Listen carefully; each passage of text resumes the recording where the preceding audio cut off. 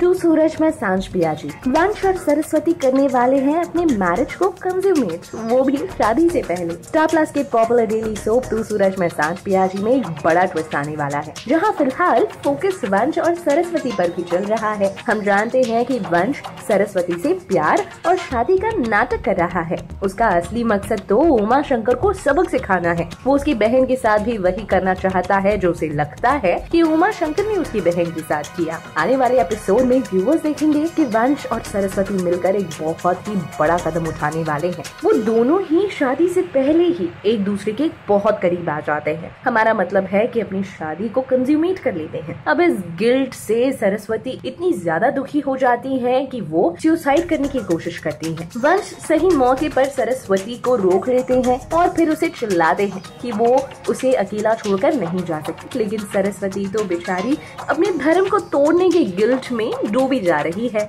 लेकिन यहाँ वंश सरस्वती को दिलासा देते हैं कि भले ही उन्होंने शादी से पहले इतना बड़ा कदम क्यों ना उठा लिया हो। वो जल्द ही शादी कर लेंगे और सभी चीज़ें ठीक हो जाएँगी। बेचारी सरस्वती तो वंश के असली इरादों से अनजान है। आपका क्या कहना है? कमेंट कीजिए और उस कहानी में और क्या होता है? ये जानने के लिए सब्सक्राइब करें हमारा चैनल टीवी प्राइम टाइम